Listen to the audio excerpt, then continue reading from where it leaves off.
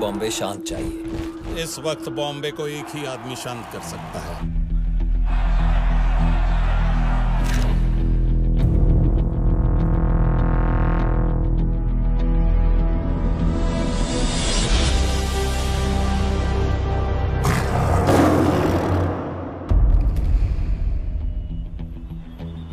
जनता का काम करने के लिए जनता के बीच जाना पड़ेगा। एक संगठन की शुरुआत करनी होगी। अपनी सेना होगी सेना। जय शिवाजी महाराज का नाम और कर ले शुरू अरे भीख मांगने से अच्छा है गुंडा बन के अपना हक छीनना। अगर बेलगांव का मसला हल नहीं हुआ।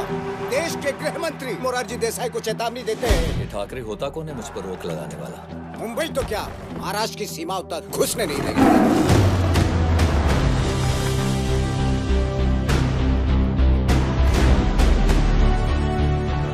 ये सब यहाँ नहीं चलेगा।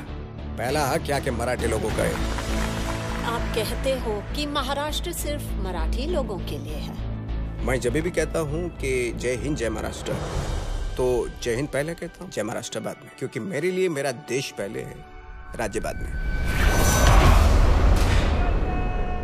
आप ही के कहने पर आपके लोगों ने बाबरी मस्जिद को तोड़ दिया। वहाँ पे तो राम मंदिर था। आपको कैसे पता कि राम लल्ला वहीं पर पैदा हुए थे?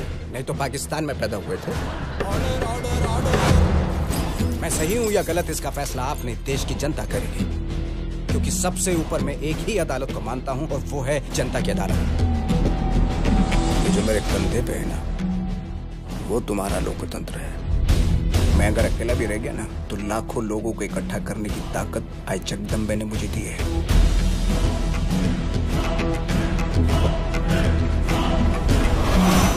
मुंबई में हुए दंगों में भी आपका हाथ था।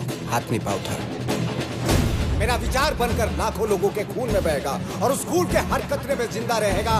ये बाल केशव ठाकरे। आणि जावेद अंदर आलेत दोनों मुल्कों में फिर से क्रिकेट मैचेस शुरू हो जाए तो हालात और भी सुधरेंगे। आपका सिक्सर याद है मुझे? एक्सेलेंट शॉट आपकी बैटिंग इतनी भी अच्छी नहीं थी कि मैं सीमा पर शहीद हुए जवानों के परिवारों का दुख दर्द भूल सकूँ।